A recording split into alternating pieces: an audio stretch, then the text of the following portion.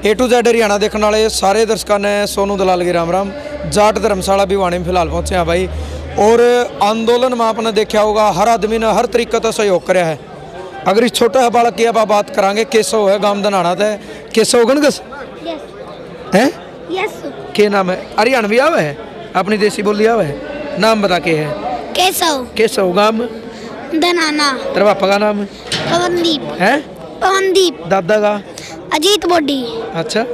अच्छा ने बता आंदोलन में के के कराया हमारे किसानों का साथ संघर्ष किया। अच्छा।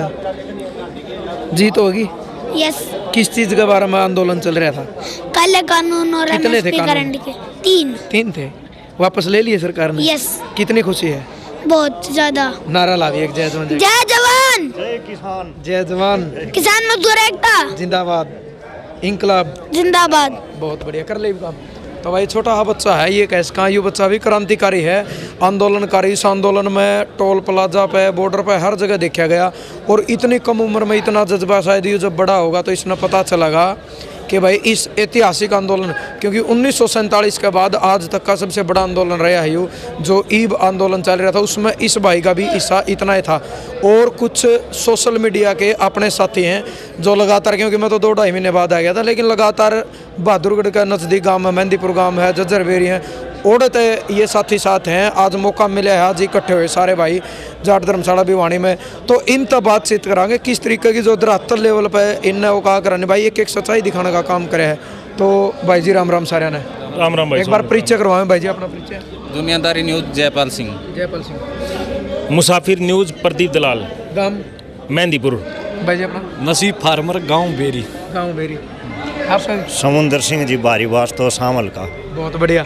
तो भाई, इन तो बात करांगे। यानी देखो, आंदोलन में कहा कर हैं। खोया भी बहुत कुछ है। 700 से 800 परिवार जिनने किसी ने अपना भाई खोया, किसी ने अपना बेटा खोया, किसी ने अपना बाप खोया, किसी ने अपना दादा खोया। यानी जिस घर का आदमी चला गया, नुकसान तो होया है। लेकिन जब धरातल लेवल पर सारा आंदोलन की जो सच्चाई दिखाई, सोशल मीडिया के इन साथियों ने, सारा ने चाहे टोल प्लाजा की बात हो, चाहे आंदोलन की बात हो तो इन भाइयों तो बात करांगे तो प्रदीप भाई लगातार आपने भी काम करे है। वो कहा करे भाई, हर चीज़ की शुरुआत एक तो होया करे रवि शास्त्री तय ये सवाल कराया गया था, शायद जड़ तक मेरा अंदाज़ा है, कि क्रिकेट में एक रन बनाना बड़ी बात है या सेंचुरी मारनी बड़ी बात है। तो रवि शास्त्री का जो जवाब आया था, वो जवाब यूँ था कि क्रिकेट में खाता खोलना सबसे बड़ी बात है, सबसे कठिन बात, यानी एक रन बनाना, क्योंकि जब आप खाता खोल लोगे एक रन बना लोगे तो आप सेंचुरी नहीं, डबल सेंचुरी, ट्रिपल सेंचुरी भी मार सको हो। लेकिन जब तक एक रन नहीं बनागा तो आगे नहीं बढ़ पाओगा इन भैया ने चैनल बनाए, और वो कहा कर, भाई, स्वार्थ में या दुनिया टिकी है, और स्वार्थ ही एक ऐसी चीज़ है जिसने एक इंसान दूसरे इंसान तो जोड़ रखा लेकिन स्वार्थ ये नहीं था कि इनने किसी तो कुछ लेना था। धरातल लेवल पर काम करके एक एक झुपड़ी की, ट्राली की वीडियो बना के इन भाइयों ने मेहनत करी है। तो प्रदीप भाई, के कुछ आंदोलन का निचोड़ लग गया। आंदोलन यो आंदोलन जन आंदोलन बन गया सोनू भाई और पहले दिन तो हम इन भाइयों के साथ जुड़े थे। हमने देखा कि जो मीडिया था वो किस तरह से गलत प्रचार कर रहा था। कौन सी मीडिया? गोदी मीडिया उसको बोल सकते हैं। तो फिर हमने अपने चैनल बनाए भैया का सहयोग मिला। एक एक झूपड़ी में एक एक पिलर नंबर एक एक खंबा नंबर सारा टीकरी बॉर्डर का संगू बॉर्डर भाई गाजीपुर बॉर्डर ढासा बॉर्डर हर जगह हम गए। हमने देखा आंदोलन दिल से जुड़ रहा है, लोग का की भावनाओं के साथ खिलवाड़ कर रहा है, गोदी मीडिया जो था। तो फिर हमने अपना माइक उठाए, क्योंकि किसान के बच्चे हम भी हैं, हमने कलम भी पकड़ी, माइक भी पकड़े, और इस आंदोलन में कूद गए फिर हम। लोगों ने गोदी मीडिया का बहिष्कार किया कि जो दिखा रहे थे वो बिल्कुल गलत दिखा रहे थे। होनी घटना कुछ थी, उसको बड़ा चढ़ाए, कुछ दिखा रहे, कोई हो ही नहीं, उसको भी वहीं ला के घटना हुई हो कहीं ये बोरे टीकरी बॉर्डर हुई है। जो आसपास भी नहीं थी। जैसे अब देखा था एक इंसान जल के मर गया था, उसको भी ऐसा बंडर मचा दिया गया कि ये तो ये वो, हालाँकि उनको सबको पता है कि वो किस तरह मृत्यु हुई थी और किस तरह क्या हुआ था उसका। तो हमने वो सच्चाई दिखाई लोगों को कि भाई लोगों ने विश्वास किया कि हाँ लोग ये मानो जब तक हमने ये अपील की थी, आंदोलन चले, अपने टीवियों को उठा के घर में रख दो बंद करके, अगर आंदोलन जीतना है तो। क्योंकि वो हमेशा झूठ पे आधारित चला रहे थे, सिर्फ़ एक संदीप चौधरी था जो सच्चाई दिखा रहा था। और एक रवीश कुमार। उसका भी चैनल फ्री वाले छतरी था हाँ उनका फरी वाले से हटा यही कारण था ना कि लोगों तक आवाज़ नहीं पहुँच पाई किसी तरह से। लोगों की आवाज़ को दबाया जाए लोगों तक सच्चाई ना पहुँची। एक झूठ को ये सरकार बोलती है एक झूठ को अगर आप सौ बार बोलोगे तो लोग उसको सच मानेंगे।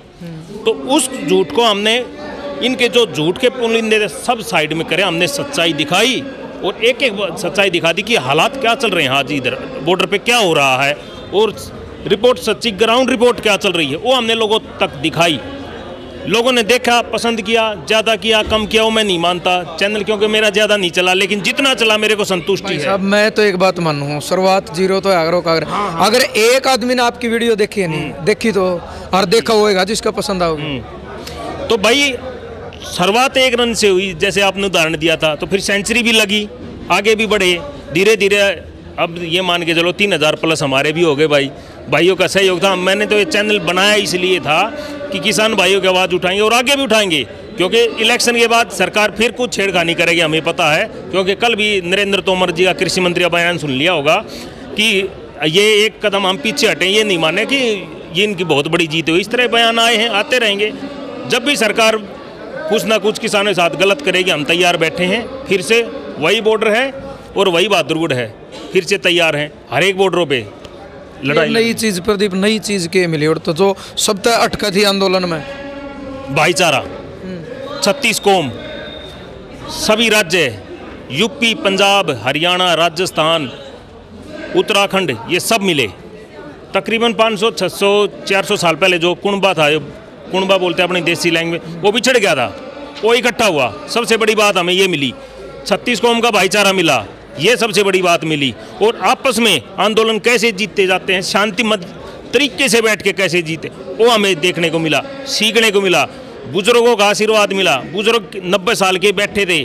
वो भी वहाँ हमने शहीद होते हुए देखे। 18 साल के युवा हमारे भाई वो भी हमने शहीद हुए वहाँ देखे बॉर्डरों पे। एक तो, भाई तो आपके साथ रहा करता। एक भाई मेरा रोमी कुमार खुद मेरे गाँव का था और मेरा कैमरामैन का भी काम करता था वो। वो तो उसने तो मेरी गोद में ही बॉर्डर पे ही बाईपास पे दम तोड़ा है। तो इस आंदोलन से वो चीज़ें देखी हमने आंदोलन दिल से कि जब कोई अपना साथ छोड़ता ना तो कैसे साथ छोड़ा था उसने वो मैं ही जानता हूँ पाँच दिन तक मैं अपने होश नहीं संभाल पाया था। मजबूती भी दी होगी। मजबूती दी लेकिन उसकी भी यही बात थी कि हम रहे ना रहे, हमारे बच्चे तो याद रखेंगे, आंदोलन जीत के जाना है। जब तक बिल वापसी नहीं हुई, ना तो घर वापसी करनी नहीं है। तो बिल वापसी भी हुए और ये देखने को भी मिला और दुनिया में सबसे लंबा आने वाले जो बच्चे, जो पीढ़ी हमारी वो इस पे रिपोर्ट जैसे अभी भगत सिंह के बारे में पढ़ाया जा रहा, इतिहास इतिहास में लिखा गया, इस पे बच्चे पढ़ाई करा करेंगे भाई, सोनू भाई आगे। धन्यवाद, प्रदीप भाई, राम राम। राम राम जी। आपका तजर्बा के कब आपने के देखे? जो दुनिया के इतिहास का सबसे बड़ा आंदोलन सच्चाई और झूठ के बीच में था। एक तरफ़ गोदी मीडिया था जो झूठ फैलाने में काम कर रहा था और एक तरफ़ सोशल मीडिया था जो सच दिखाने का काम कर रहा था। हम वहाँ किसानों के बीच में पूरे एक साल तक किसानों के साथ, मेरे अपने गाँव के टेंट में किसानों के साथ रहा, वहाँ उनके साथ खाना भी बनाया, उनके साथ खाया एक एक मंजे पे दो दो तीन तीन भी सोए तो सर्दी में, बारिश में और गर्मी में पूरी दिक्कतों का सामना किया, लेकिन किसान टस से मस नहीं हुए क्योंकि उनको पता था कि ये नस्ल और फ़सल की लड़ाई है। लेकिन अभी कुछ किसान जो है संतुष्ट हैं कि हमारे जो कानून हैं, वापस हो गए हैं। लेकिन शंका अभी भी ज़ाहिर की जा रही है। क्यों की जा रही है? क्योंकि हरियाणा ने जिस प्रकार से साथ दिया इस आंदोलन में तो हरियाणा का जो एक परिदृश्य पूरे विश्व में उभर कर सामने आया कि हरियाणा वाकई में एक दमदार स्टेट है। तो लोग अब क्या करते हैं कि हम हरियाणा वासी हैं, गर्व से कहते हैं, क्योंकि उन्होंने साथ दिया है। उनका हक बनता है कि गर्व से कहें। लेकिन कहीं ना कहीं अब भी मैं शंका ज़ाहिर कर रहा हूँ कि हरियाणा में कुछ पार्टियों जिनको ये रास नहीं आ रहा कि तीनों कानून वापस हो गए हैं। वो पार्टियाँ अब भी चाहेंगी कि हरियाणा में कुछ ना कुछ जैसे पीछे एक जाति के आरक्षण के नाम पर हरियाणा को जलाया गया था अब भी संभावनाएँ बनाई जा रही हैं। अब भी तरह तरह के हिंदू मुस्लिम जैसे अपवाद को खड़ा किया जा रहा है। कुछ पार्टियाँ चाहती हैं हरियाणा का भाईचारा खराब करना लेकिन कुछ जो एस के लीडर थे वो भी अब गलत राह की ओर अपना पद बढ़ा चुके हैं। जो किस तरीके से? कुछ राजनीतिक पार्टी बना के पंजाब में इलेक्शन लड़ने की जो तैयारी कर रहे हैं वो कहीं ना कहीं गलत है। लेकिन एक चीज़ यह भी तो है नहीं उनका कहना ये था जब तक इन किसानों में तो कोई आगे नहीं होगा तो वही बिला बागड़ बिल्ले बनते रहो। ऐसा है कि अपनी राजनीतिक इच्छाओं के चलते गुलाम सिंह चुडुन्नी को तीन चार बार सस्पेंड किया जा चुका है। तो उनकी इच्छाएँ कहीं ना कहीं पहले से थी। अभी एस तो प्योर किसानों के लिए बना हुआ था तो या तो किसान के लिए वो छोड़ दें एस या फिर अपना राजनीतिक करियर शुरू करें। और मैं यहाँ एक बात और बताना चाहूँगा। हमारे युवाओं को किसी न किसी दल के ज़रिए कि हम हिंदू हैं, ये मुसलमान हमारे खिलाफ, ये खुले में वो नमाज़ नहीं पढ़ सकते। ऐसी ऐसी भावनाएँ भड़काकर हिंदू, मुस्लिम का और कास्ट वाइज का कुछ ना कुछ दंगा रचने की तैयारी अब भी की जा रही है। तो मैं हरियाणा वासियों को ये कहूँगा कि आप ठीक है, आंदोलन आपने जीता, लेकिन अब भी भाईचारा बना के रखिए। अपने बच्चों को कलम दीजिए। उनको पढ़ने के लिए दीजिए उनको पढ़ाइए उनको अच्छी शिक्षा दीजिए लेकिन उनको इन संगठनों से दूर रखिए जो उनका भविष्य नहीं उनकी मौत का समान है। बिल्कुल बहुत बहुत धन्यवाद एक और भाई हैं अपने साथ नसीब इन तक भी पूछांगे नसीब। नसीब हाँ भाई जी राम राम। नमस्कार भाई सोनू भाई सबसे पहला तो आपने यार भाई आपने भी काफ़ी जो है ग्राउंड पे रिपोर्ट दिखाई है। बिल्कुल। और ये सबसे पहला तो इसमें आपका शुक्रिया अदा कराएँगे कि आपने भी ग्राउंड पर रिपोर्ट दिखाई है हमने भी ग्राउंड पर रिपोर्ट दिखाने की पूरी पूरी कोशिश करी है। उसमें हमने सीखने को एक ही चीज़ मिली सबसे पहला तो अपना भाईचारा जुड़या है।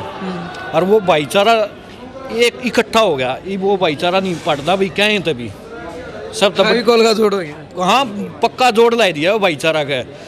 और भाई काफ़ी कुछ बड़े बुज़ुर्ग तो उड़े सीखने भी मिला, भाई, आंदोलन कैसे चलता है, किस हिसाब से चलता है, ये नहीं, पहले तो मान ले अपने हरियाणा में क्या बात थी कि गए वो हल्ला करके ना आगे।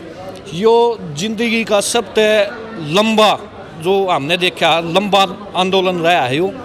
और ये तो शायद आने वाली पीढ़ी भी अपनी याद रखेंगी कि यो कितना बड़ा आंदोलन था कितने शांत तरीके से यो आंदोलन होया है।